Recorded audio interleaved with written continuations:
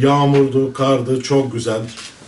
Fakat Edirne'mizin 56 tane köyünde elektrik kesintisi bu köylerde yaşayan insanları gerçekten canından bezdirdi.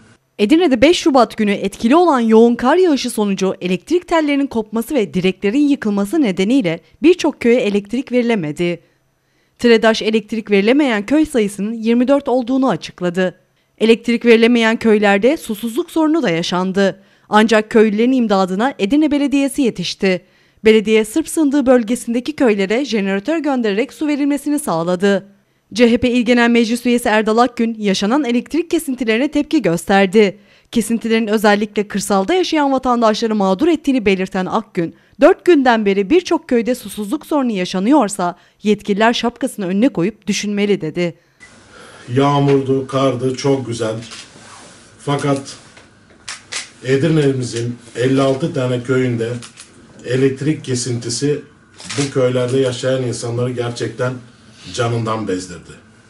Saygıdeğer basın mensupları, ben bir hudut köylüsüyüm. Benim köyümün mesafesi Bulgaristan sınırına 300 metre. Ve biz hemen bir elektrik kesintisinde Bulgaristan'ın köylerine bakıyoruz.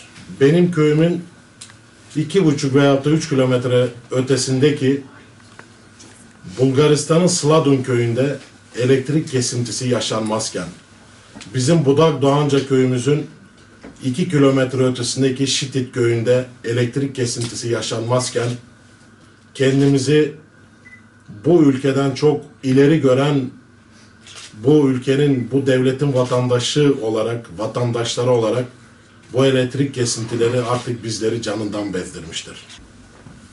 Yani bu yazın yaprağın kıpırdamadığı günlerde de aynı. Özellikle üç buçuk yıldan beri bu enerji kesintileri e, yani iyi hizmet verilmediğinin e, arızaları fark edip zamanında müdahalenin olmadığını gösteriyor. Veyahut da TREDAŞ yetersiz ve bilgisiz personelle çalıştığı kanaatindeyim. Ufacık arızalara dahi saatlerce ve günlerce müdahale edilmiyor. Önlemi önceden almama böyle çok büyük sıkıntılar yaratıyor. Evet yani gerçekten o hatta o hatlara bu kar içinde, bu çamur batak içinde ulaşmak çok zordur. Ama e, zamanında önlem alınmış olsa, bu arızalar zamanında mü, e, müdahale edilmiş olsa, normal hava şartlarında müdahale edilmiş olsa, bu Edirne'nin 56 tane köyünde bu sorun yaşanmazdı. 3 veya da 4 tanesinde olurdu ve anında müdahale edilebilirdi. Yani biz bu tek kurumuyken yani tek kurumuyken devletinken burası anında da köy muhtarlarının telefonunda bütün arızalara müdahale edilirdi. Ne zaman TREDAŞ oldu arızaların önüne geçilmiyor.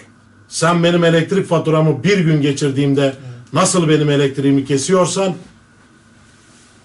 şimdi de ben senden hesap soruyorum. Dört günden beri benim köyümde hayvancılık yapan insanların halini düşünüyor musun? Dört günden beri o hayvandan çıkan sütün ne olduğunu düşünüyor musun ey Tredaş?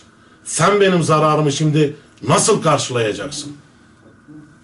Hiç kimse yan gelip yatmayacak. Bu arızalar gün öncesinden tespit edilip arıza yokken müdahale edilmeli. Şu anda en büyük zorluğu su kesintilerinden dolayı yani elektriğin olmamasından dolayı sularımız köylerde akmıyor. Ben burada dün itibariyle köy muhtarlarımızla irtibata geçerek özellikle Sırp Sındığı bölgesindeki köylerin susuzluk problemine el atan Sayın Belediye Başkanımıza buradan teşekkür ediyorum. Özellikle Belediye Başkan Yardımcımız Sayın Çiğdem Gegeoğlu'na, Sayın Belediye Başkan Yardımcımız Selçuk Çakır'a irtibata geçtiğimiz andan itibaren gece saat 12'ye kadar her saat başı beni arayarak köylerdeki su problemini halletmeye çalıştık. dün öğlen saatleri itibariyle Sırp Sındığı bölgesindeki köylere belediyemizin gönderdiği jeneratörler sayesinde su verilmeye başlandı.